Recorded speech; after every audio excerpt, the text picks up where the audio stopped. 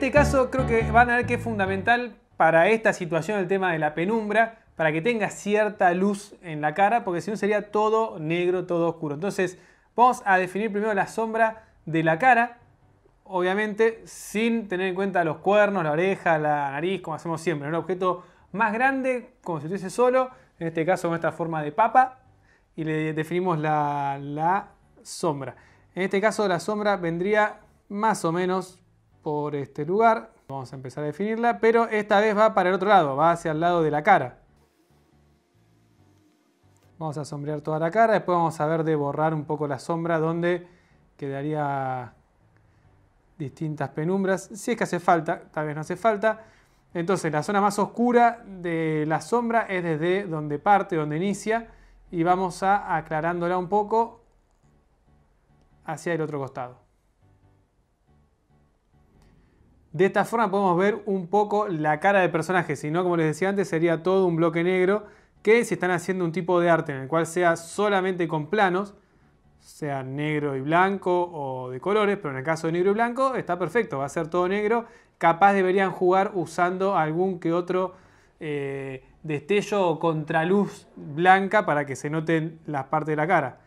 Si no, no se va a notar nada. En este caso, si habría una contraluz del otro lado, se podría hacer algo bastante interesante jugando con la nariz, con los ojos, con las cejas. En este caso, el personaje es muy simple, entonces no tiene ceja ni muchas otras facciones que una cara así, pero acuérdense de eso, si van a usar un negro tan pleno en una cara donde es importante la expresión del personaje, van a tener que usar una contraluz o algo para que se vea bien. Entonces supónganse que vamos a hacerlo de esta forma bastante clarito, dejé la penumbra bastante clara para que se note la cara. En el caso del cuerno es igual que antes pero invertido, o sea en esta zona, y la sombra va a ir de nuevo hacia la izquierda en este caso, también con una pequeña penumbra.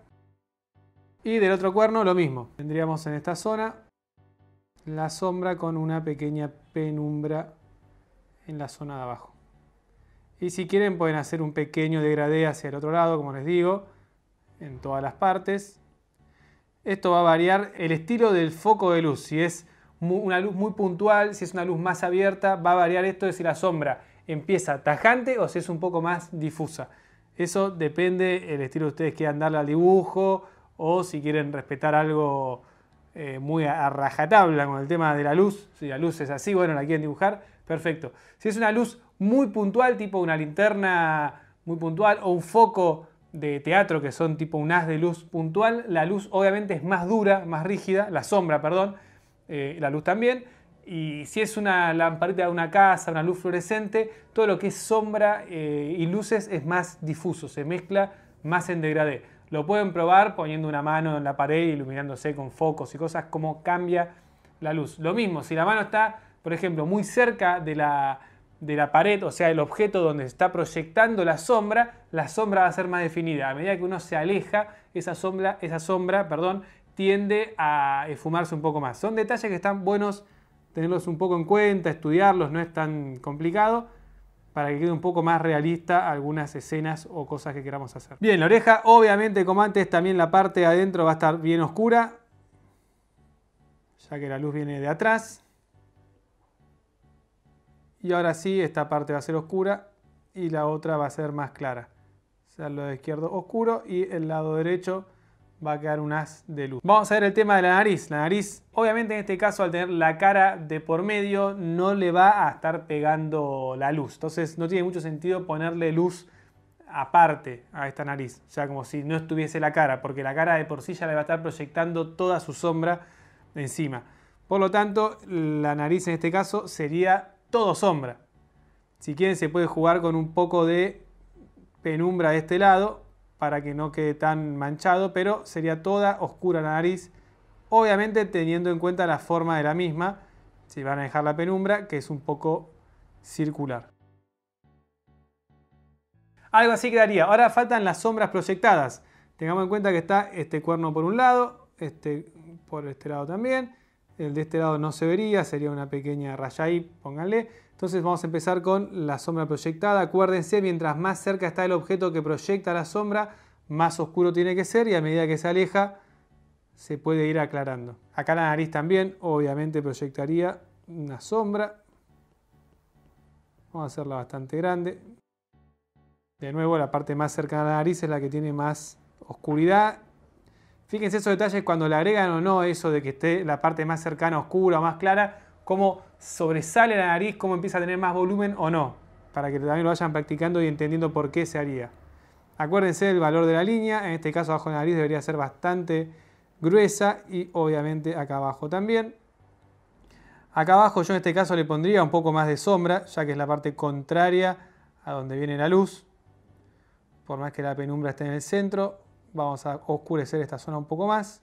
Y acá quedó muy clara. Yo exageré la penumbra para que se vea, pero obviamente en este caso sería muy sutil la luz. Acá depende de ustedes lo que quieran hacer, cuánto quieren que se le vea la cara o no. Pueden exagerar, lo que igual con que el dibujo quede creíble ya está. Es lo que yo les decía en el módulo pasado. Lo importante en el dibujo es que sea creíble, pasar una situación en tres dimensiones real a algo 2D. Con que una persona lo vea y diga, sí, es una, es una persona con cuerno que está iluminada de atrás, ya está, ya se cumplió el objetivo. No hace falta que sea súper perfecto y realista, salvo que el objetivo de ustedes sea ser dibujantes realistas, que en ese caso tienen que estudiar muchísima teoría de todas las cosas que existen, sea color, sea iluminación, sea sombra, sean proporciones.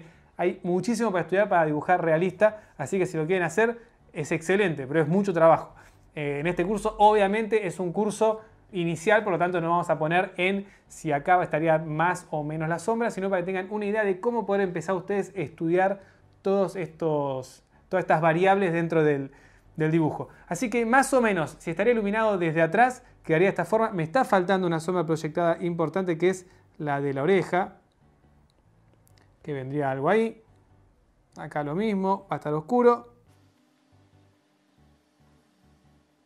Ahora sí. Fíjense entonces cómo quedaría si está iluminado desde atrás eh, la diferencia con los otros ejemplos. Vamos a ir prendiéndolo de a uno. Acá tenemos el primero, iluminado de arriba a la izquierda. Fíjense el clima de la escena, cómo se proyectan todas las sombras para la derecha, está más que nada la cara iluminada. Si lo iluminamos de abajo es muy parecido al otro, solo que es una escena un poco más dramática, se podría decir. Y si está iluminada de atrás, cómo cambia absolutamente todo. O sea, la luz pasó a ser lo que antes era la sombra, casi invertida la situación, salvo el tema de las sombras proyectadas, que no es que se invierten, sino que van para el otro lado completamente, no se invierte a nivel color. Eh, y también cómo cambia el tema de la escena. Acá aparece algo más de, de, misterio, se podría decir. Alguien entrando a un cuarto oscuro y que le está entrando la luz por un costado. Cómo se puede jugar con las sombras y las luces. Así que bueno, gente, esto es todo lo que es luces, sombras y volúmenes de, a nivel básico. Espero que practiquen mucho. De nuevo, agarren objetos, personajes que tengan, eh, hagan fotocopias si lo van a hacer tradicional y prueben varias luces con el mismo personaje. Es una ayuda excelente, sea una cara, personaje entero, lo que sea. Pueden buscar, buscar dibujos en internet hechos por otras personas, está perfecto también para practicar. Si se les ocurre más, que sea una luz de atrás, pero de abajo en vez de arriba. Una luz que sea de frente, pero del lado derecho, no del lado izquierdo como hicimos. En fin, hay un montón para practicar, así que gente, a ponerse a laburar. Como tarea, gente, pueden usar el mismo dibujo u otro, pero cambiando la posición de la fuente de luz. Eso sí, no se olviden subir los ejercicios al foro.